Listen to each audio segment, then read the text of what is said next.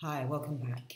Now we left this the last we left the last session after creating the slideshow that you see in your screen right now. It's a simple but effective slideshow that's moving from one image to another. What we now want to do is to add some sound, some background music to the slideshow, slideshow to give it more effect so that when it loads, it's also going to have some music playing especially when you consider that this is for the World of Music site.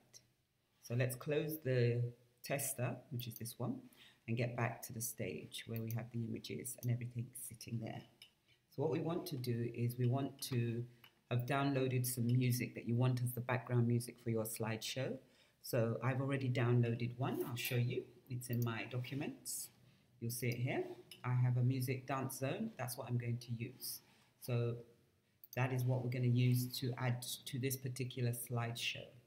Now it's a particular, it's an asset, it's um, it's an asset, and we need to bring it in. Now I did download this from a royalty-free site. So again, don't forget when you're downloading any media from the internet, please make sure that it's not going to, you're not infringing any copyright rules or laws. Make sure you download it from a royalty-free and copyright-free location.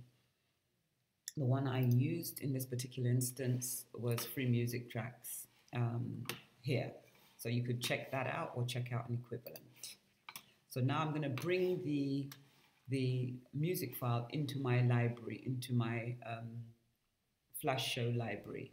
So what you need to do then is go to File, uh, make sure you are in Adobe Flash, go to File, go to import and import to library. Again, you don't want to import it to the stage because you need to put it in a specific place. Find the music file that you're looking for. So in my case, it it's called, um, what is it called? Uh, Dance Zone. It's an MP3. Click open and you can see here it's been imported into the library, ready for me to use. We now have to come down to our timeline here and we have we're now on the last slide because the last thing we did was fade in the slide one so that the transition would be smooth. Well, you now need to add a new layer. You notice that it appears above slide one because slide one was the last one we worked on. You want to double click that and you want to put slideshow music. So slideshow music. Press enter.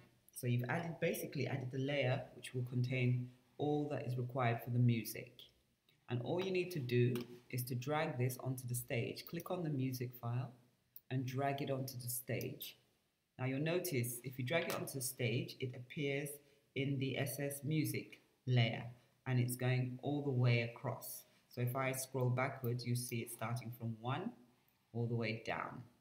So let's see if this has worked. Just simply adding a music file. I just want it to play the length of the slideshow.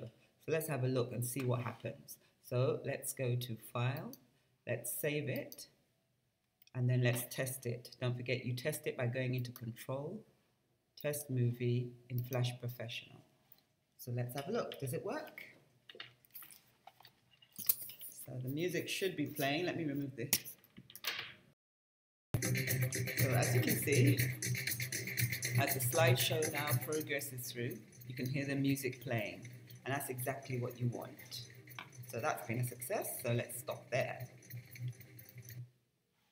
Now you guys try it, please.